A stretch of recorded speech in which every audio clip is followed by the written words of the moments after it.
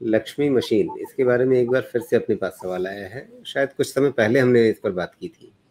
Lakshmi Machine Works. क्या एक साल के नज़रिए से इसका वैल्यूएशन ठीक है? ये सवाल है वरुण कोठारी जी का।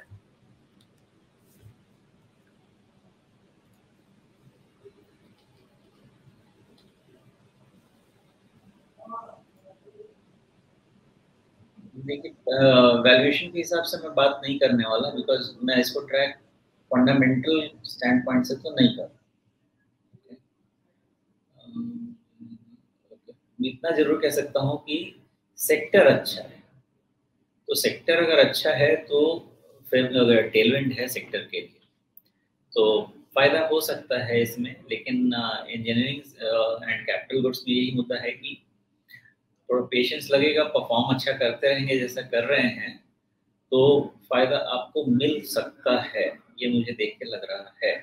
लेकिन ध्यान रखने की बात ये है कि जो भी करें लक्ष्मी मशीन वर्क्स में आ, ये जो इसका लो बना है 9950 के आसपास का उसके स्टॉप लॉस से कीजिए बाकी सब ठीक तो हो सकता है कि ये जो एक ईयर्स हुआ था इसका टू हंड्रेड डी में वो टेस्ट खत्म हो गया। इस स्ट्रक्चर में बहुत पॉसिबिलिटी होती है कि वापस निकलेगा ऊपर। अभी गारंटी नहीं है किसी चीज़ क्योंकि बारह हज़ार के पहले तो कुछ इसमें कहना ही मुश्किल है। लेकिन फिर भी अगर एक अटेम्प्ट लेना है तो nine nine five zero that is the number for stop loss और इसको ले सकते हैं अटेम्प्ट बिकॉज़ अगर इंजीनियरिंग कैपिटल गुड्स में बाइंग आ गई सेक्टर तो अच्छा करने वाला है। तो शायद इनके लिए भी फिर अच्छा। जी।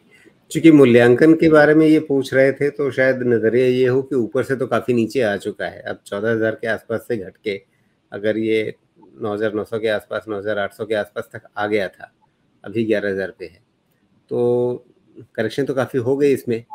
रिट्रेसमेंट के नज़रिए से भी देख लेते हैं अगर तो रिट्रेसमेंट इसका क्या कहता है? रिट्रेसमेंट बता रहा है कि इसने जो अभी करेक्शन देखी है, वो लगभग 61.8 परसेंट थोड़ा सा ओवरशूट करते हुए ये अपना रिट्रेसमेंट पूरा किया है इसने। तो क्या 200 दिनों का मूविंग एवरेज पार करना ये इसके लिए लक्ष्मण रेखा है अभी? इसके ऊपर जाने के बाद फिर कहानी ठीक होगी?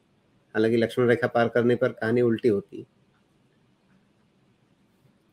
जितना भी देखने की कोशिश कर रहा हूँ मुझे 11,500 से 12,000 ये पूरा का पूरा इसका कंजेशन जोन ही दिख रहा है। जी।